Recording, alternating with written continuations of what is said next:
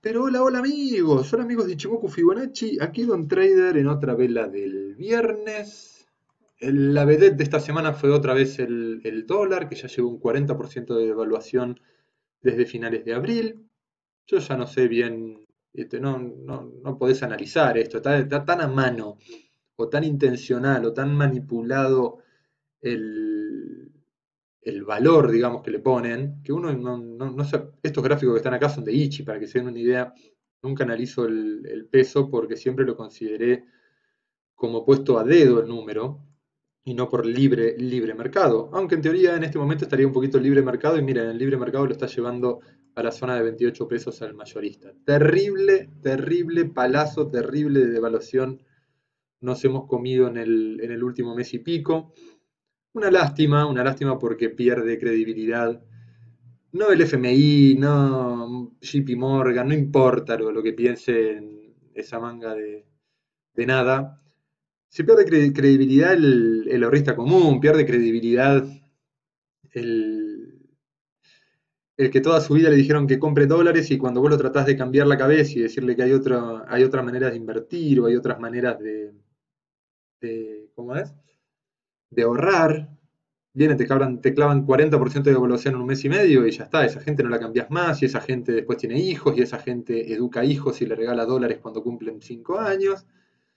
Entonces mi angustia viene mucho más por ese lado de, cultura, de cultura argentina que, con este tipo de, de maniobras no, no, la vamos a poder quitar en, muchísimo tiempo y nada. Entonces me, me, pega más por ese lado, me tiene completamente sin cuidado si es la mejor estrategia para licuar deuda, me tiene sin cuidado si está de acuerdo JP Morgan, el FMI o, el que quieran, no me importa nada de eso, creo que de fondo, de fondo es un, es un pésimo es un pésimo momento el que, que se está viviendo de credibilidad en las instituciones, etc. Pero bueno, no estamos aquí para, para que yo les rompa la cabeza con, con mi angustia temporal. Estamos aquí para analizar papeles, estamos aquí para analizar Merval, estamos aquí para analizar uno que otro papel que, no, que, vimos la semana pasada. Eh, mucho, mucha duda, ¿viste? En este, la semana que viene se define si nos reclasifican a emergentes, si quedamos como frontera. La realidad es que no tenemos ni idea qué va a pasar, ¿bien? Entonces vos no, no tenés aunque podamos hacer distintos tipos de, conjeturas y decir que el año pasado dieron manija y después no lo fuimos y que este año es todo pesimismo, entonces tal vez lo somos. No, la verdad es que no tenemos ni idea. El tema es cómo vas a enfrentar vos, o cómo querés enfrentar, o cómo no querés enfrentar la, la semana que viene. La semana que viene va a ser una semana volátil y de las buenas, supongo. que Ya terminó el vencimiento de opciones, entonces los papeles manipulados de nuestro pequeño mercado pueden correr libremente, tanto al alza como a la baja. Así que por ese lado estamos bien. Para los que no están muy al tanto, no siguen mucho, todo vencimiento de opciones tiende a, ponerle techo o piso a, muchos, a muchos, papeles que, pueden ser manipulados desde nuestro pequeño mercado. Bien. Pásense al premium o, o, escríbanme por privado si no entienden a qué me refiero, pero bueno, es básicamente conceptualmente es así, no es, no es tan lineal que vos tenés preestablecido qué precio no va a subir o no, aunque podés, o sea, sacar tus conjeturas viendo las bases que más volumen movieron o, viendo un poco cómo se mueve el precio. Pero bueno, me estoy yendo otra vez por las ramas, estoy desconcentrado. Una devaluación del 10% en una semana me, desconcentró, independientemente si me pegó o no me pegó, si tengo dólares o no tengo dólares, viene, viene una cuestión muchísimo más profunda mi, mi angustia, entre comillas, ¿ok? Como les decía, vos tenés distintas maneras después para posicionarte para la semana que viene. La semana que viene volátil vos tenés maneras, una es estar 100% comprado, completamente optimista y esperando la, mejor, el mejor desenlace. Otra opción es estar 100% comprado y llegado el martes, miércoles, comprarte un put. Si tenés un papel que te permita put, recordemos que aquí en Argentina puts te manejan un par de papeles, no te manejan todos los papeles opciones de venta. Bien. Otra opción sería vender todo, si es que ya no lo hiciste, estar 100% líquido en pesos o en dólares, no lo sé por lo que le dije, porque vos tenés una manipulación del tipo de cambio que no te permite análisis, es solamente adivinanza. Bueno, la otra cuestión es vender todo, quedarte líquido y comprar calls. ¿Por qué digo comprar calls? Porque vos acá, esto, es una, esto también es una cobertura. Bien, nosotros en el, en Ichi Premium lo vemos muchísimo al, tema de comprar calls como cobertura, no como especulación. ¿A qué voy? Vos tenés en este momento, no sé, 100% de tus ahorros metidos en la bolsa y tenés la semana que viene un desenlace muy importante. Pensemos que tenés un millón de pesos metidos en la bolsa. No sé cuántos, ahí estamos. Y que vos tenés la semana que viene un desenlace muy importante que te puede tumbar esto en el corto plazo. O lo que sea, estoy siendo conceptual, ¿no? Vos al vender todo esto, vendés, quitas tu plata o tus ahorros del riesgo de la decisión de la semana que viene, que encima cae feriado, así que ni siquiera vas a poder reaccionar en, en el mismo día. Vos podés vender todo, pero una parte tuya dice, che, pero yo quiero participar de este gran momento, de este gran suceso donde se ve si nuevamente somos, somos emergentes o seguimos siendo de frontera. Entonces, sí y solo si querés participar de este gran suceso, pones plata y te compras unos calls. Después vemos, papel, call de qué, call de Galicia, call de Pampa, call de IPF, pensá en las empresas, eh, en las empresas que más, más, más representativas de Argentina que podrían estar beneficiadas en caso de, emergentes. Entonces, ¿qué pasa si vos compras un call? Vos tenías un millón de pesos en riesgo y vos vas a terminar comprando calls teniendo en cuenta la misma cantidad de, acciones, ¿sí? Por 20 mil pesos, ponele. No estoy viendo ninguna base, no me estoy metiendo en misma data, no estoy viendo puntas. Si quieren detalles, se pasan al premium y lo llevo de la mano a hacer todo lo que quieran hacer. Pero bueno, conceptualmente, vos te metes y pones 20 mil pesos. Si la decisión eh, de, emergentes es para abajo, o sea, no somos emergentes, no tengas duda que vas a perder los 20 mil pesos o gran parte de ellos. ¿sí? Porque lo que tienen los calls es que es caca o gloria. Entonces, la, la decisión es mala, vos vas a perder los 20 mil pesos, pero no vas a poner en riesgo gran parte de tu capital. ¿Se entiende? Vas a poner en riesgo solo una parte de tu capital. De hecho, pensándolo más, tratando de ser un poquito más más específico, vas a tener entre un 5 y un 10% vas a poner en riesgo porque los calls van a estar bastante caros la semana que viene, supongo. Pero bueno, depende que en compren, depende si compra bien in the money, at the money o out of the money. La cuestión es que vos podés poner en resguardo tu millón de pesos, poner 20 mil pesos y si sale mal los vas a perder, pero solo perdés 20 mil pesos, no perdés más. Te quedan 980 mil pesos todito para vos para la revancha. Si te sale bien, si te sale bien, estos 20 mil pesos se van a transformar en 40 mil, en 60 mil, en 80 mil, depende qué tan positivo sea visto por el mercado el driver en caso de que sea positivo. Vos no te quedaste afuera, tenés la posibilidad de ganar plata comprando los calls, pero lo más importante, tenés cobertura en caso de que la decisión sea mala. ¿Bien? Entiendan el concepto. Esto, es cobertura. comprar un call de frente no es siempre especulación o compro, o compro un call de frente para especular y punto. También puedes comprar un call para cobertura de tu capital. Otra opción, porque ya dijimos entonces, compras, compras puts, sí y solo si tenés papeles que tengan puts. Entonces, si baja, el precio de esto va a subir, bla, bla, bla, te va a reducir la, pérdida. La, vendés todo y compras un call, Otra opción es combinar el 1 y el 2. Bien, vos tenés estrategias con opciones donde comprás la misma base, una base cercana de calls y de put, pero acá necesitas buena volatilidad. Vos comprás los dos, si va para arriba, el call va a valer mucho, esto va, esto va a ir a pérdida, no lo dudes, pero el call va a subir lo suficiente como para cubrirte lo que te salió el put y encima dejarte ganancias. Si va para abajo, el put va a valer tanto que te va a cubrir lo que pagaste del call y te va a dejar algo de ganancias. Otra estrategia es no hacer absolutamente nada, te, te quedas completamente líquido, tranquilo y sin problemas. No estamos obligados a operar siempre, no sientan que siempre hay que operar todas. lo que es importante es que por ahí es por ahí ser sinceros con lo que con el plan original que tengan, ¿okay? O sea, piensan una estrategia y dicen, yo voy a verlo de afuera y que, que la ganen otros o que la pierdan otros. Vos imaginate verla de afuera y que, a ver, no puedo ver Galicia porque es papel premium. Estoy, estoy metiendo muchos papeles en el premium porque es una época especial, entonces sabrán entender que no puedo analizar muchos de los papeles más interesantes en este video. Pero lo que quiero decirles es, vos te quedás afuera, la decisión es positiva, estamos acá en Banco Macro, ¿no? La decisión es positiva y seguramente Banco Macro te suba un 10% en un día, un 15% en un día y vos, compres acá, ¿no? Vas a estar, perdón, no deberías comprar acá porque estarías cerca de una resistencia, ¿la ves? Esta resistencia de 80 dólares, estoy mirando la DR. Pero bueno, compras acá arriba. Y después te va a quedar margen, vas a poder hacer otro tipo de operación, vas a poder tener, tenés un 60% todavía hacia máximos, en el medio podés hacer de todo. Bien, entonces si vos no querés entrar, está muy bien, no entres, espera tranquilo. Otra opción, no sale emergente, nos hacemos recontratorta. No, ¿qué es esto? De una hora no.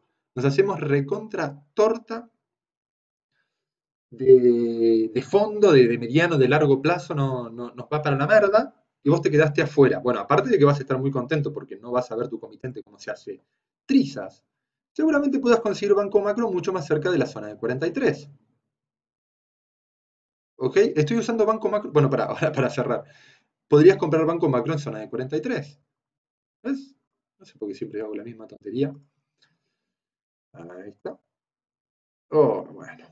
Voy a poner pausa dos segundos y a ver si lo soluciono esto. Ahí estamos. Entonces lo que les decía, no sé, me perdí un poquitito. Digo, vos te perdés la decisión, está bien, vas a comprar un 10% más caro, no pasa nada, todavía tenés margen para volver a máximo. Vos, la decisión es mala y vas a tener la posibilidad de comprar banco macro mucho más cerca de un soporte de muy, muy, muy largo plazo en la zona de 40 dólares. ¿Sí? Entonces, ¿no querés hacer nada? No hagas nada, salí. No se sientan obligados, como les digo, a entrar eh, siempre. Por supuesto que después tenés la otra opción, que es entrar. Entrarle, como están diciendo mucho últimamente, es viejo para mí el dicho, porque te dice, le voy a entrar como el chancho a la batata. En mi pueblo se decía mucho, entonces para mí no es nuevo, pero está mucho con el, con el decir le voy a entrar como chancho a la batata. ¿Le querés entrar? Entrale viejo, está muy, pero muy, pero muy bien. Lo que no estaría bien es que le entres sin entender dónde estás.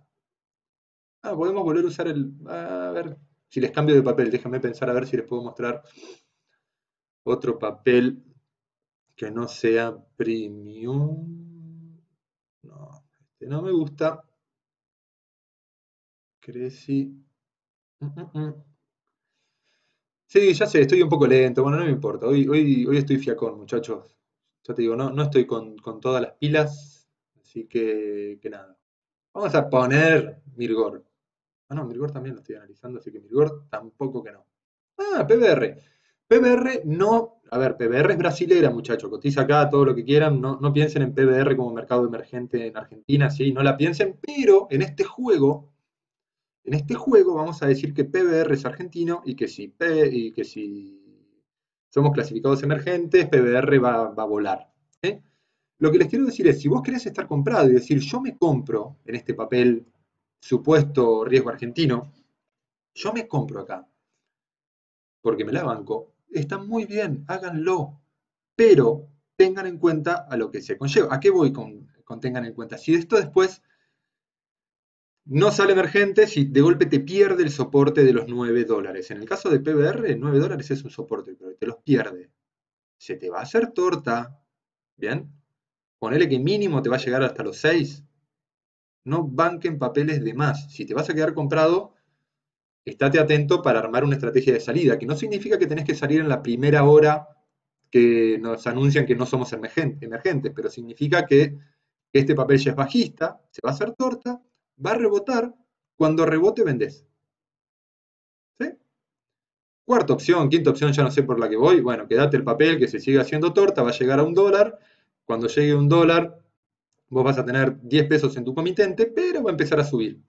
y dos años después vas a recuperar tus dólares. Porque también el precio siempre vuelve a la alza también, ¿eh? No siempre nos vamos a hacer torta indefinidamente, ¿no? Pero bueno, no sé si dije todo lo que tenía ganas de decir, no sé.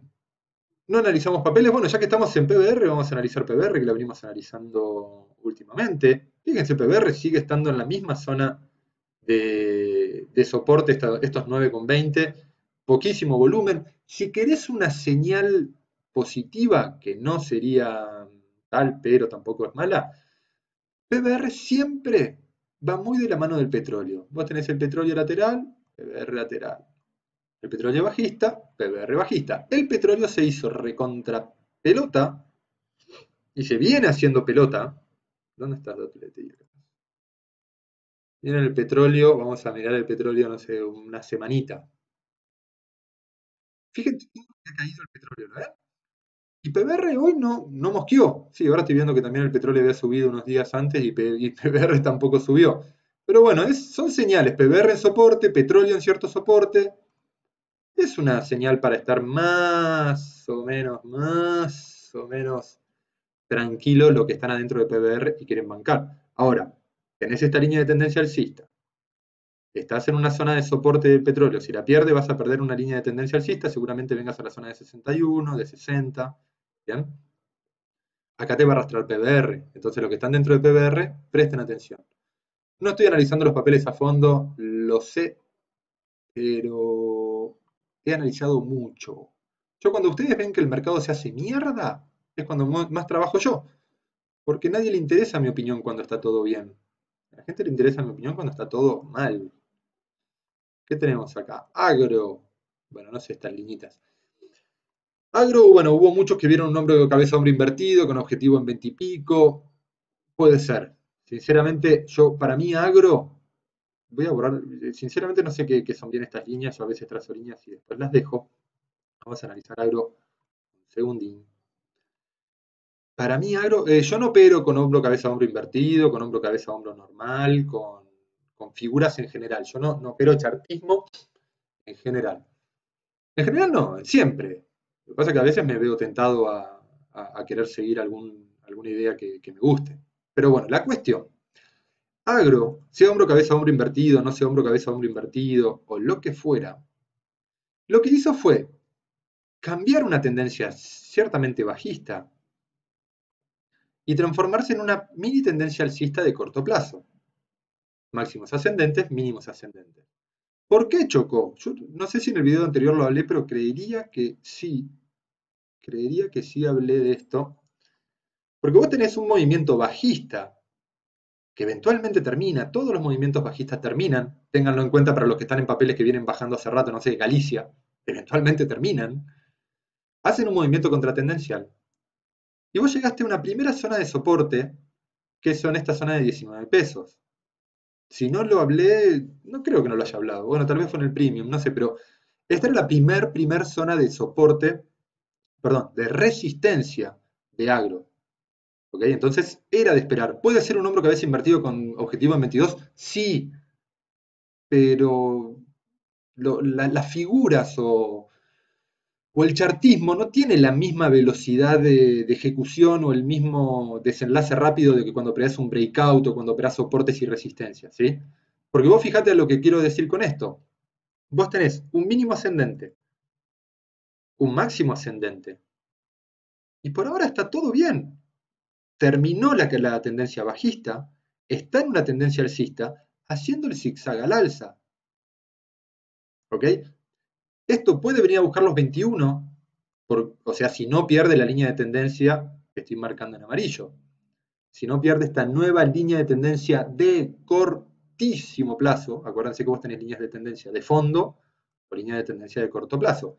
Mientras vos no pierdas esta línea de tendencia, podés llegar al objetivo de 22 de hombro, cabeza, hombro y me vas a decir, viste que yo te dije que hombro, cabeza, hombro. Y sí, tal vez sí. Eh, yo no soy nadie para decir no al análisis de otra persona. Eh, simplemente yo me guío por otras cosas. 50% de Fibonacci de retroceso, los 19 que estaban por acá de precio, fue la primera resistencia. Retrocedió mientras mantenga mínimos ascendentes y máximos ascendentes, tenés probabilidades de llegar a los 21. Si continúa el impulso, vas a llegar a los 24, etc. Antes de llegar a los 24, mira, ¿ves? También tenés por precio en la zona de 21 una resistencia. Así que, bueno, no, pierdan de vista, no, no se desesperen, no se desesperen porque compraron mal. Compraste mal, aprendé, pero estás todavía en un papel alcista. ¿Ok? Entonces, tranquilo, esto, esto sí creo que fue pregunta de la comunidad premium.